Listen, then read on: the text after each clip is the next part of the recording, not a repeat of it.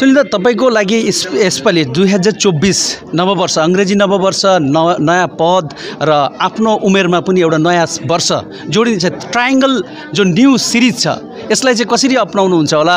नमस्कार आफ्नो आवाजमा सम्पूर्ण दर्शक महानुभावलाई म युवराज छेत्रीले अङ्ग्रेजी नववर्ष दुई हजार चौबिसको हार्दिक मङ्गलमय शुभकामना ज्ञापन गर्दै म आज उपस्थित छु खोनामुख लोखरा। असम गोर्खा छात्र सङ्घ केन्द्र समितिका सभापति सुनिल छेत्रीज्यूको आज रहेको छ जन्मदिवस। र यो माहौल यो साँझ सुनिल छेत्रीज्यूको जन्मदिवसमा जम्मै आक्सु कर्मकर्ता उहाँका अ, शुभचिन्तकहरूको उपस्थितिले जन्मदिनको केक काटिरहेको परिवेश तपाईँहरूलाई ल्याउन प्रयास गर्छु म युवराज छेत्रीले।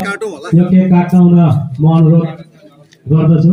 र दिपक सुब्बा सँगै सरसँगै दिपक सुब्बालाई आउन हुन अनुरोध गर्दछु।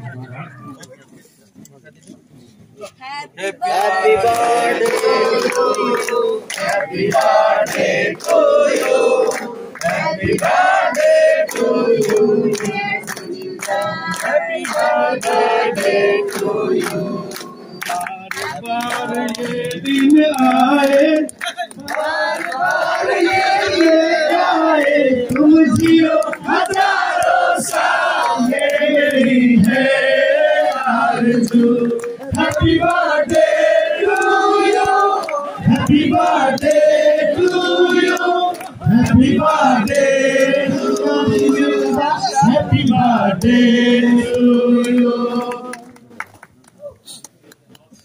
र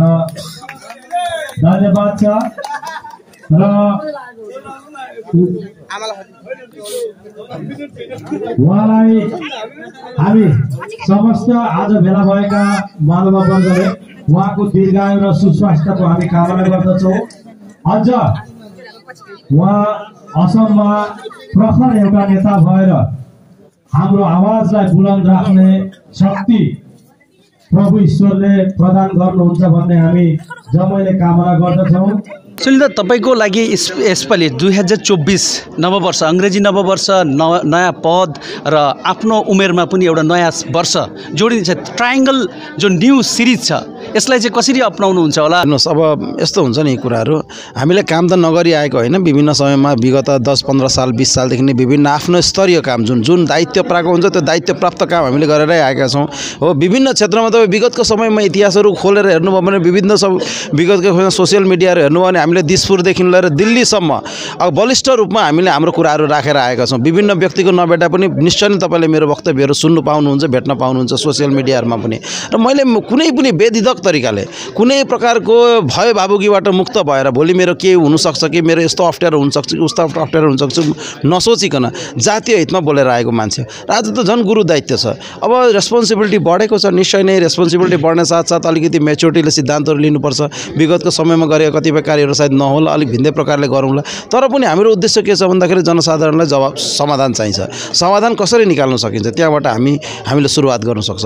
हेर्नुहोस् आज हामी आसाममा छौँ कति छौँ तपाईँ पनि जान्नुहुन्न उहाँले पनि जान्नुहुन्न बिस छौँ कि पच्चिस छौँ कि तिस छौँ त्यही कुरामा हामी अझसम्म कन्फर्म छैनौँ। र भोलिको डेटमा तपाईँ चाहिँ म प्रतिनिधित्व गर्दैछु। कतिलाई प्रतिनिधित्व गर्दैछौ गर्दैछौ भनेर सोध्यो भने त्यसको उचित उत्तर दिने मसँग जवाब छैन आजको समयमा। त्यो जवाब पहिला मैले खोज्नुपर्छ।